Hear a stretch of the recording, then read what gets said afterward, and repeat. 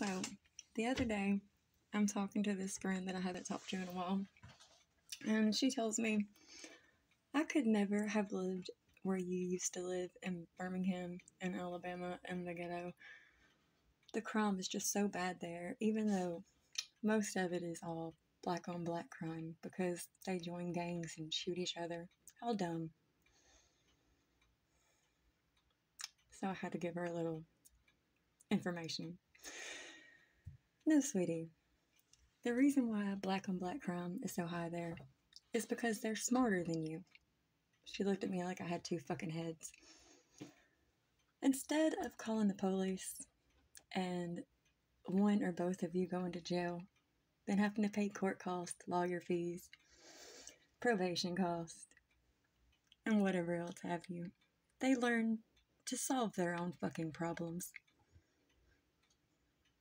If white people could figure that out, police would be out of a job.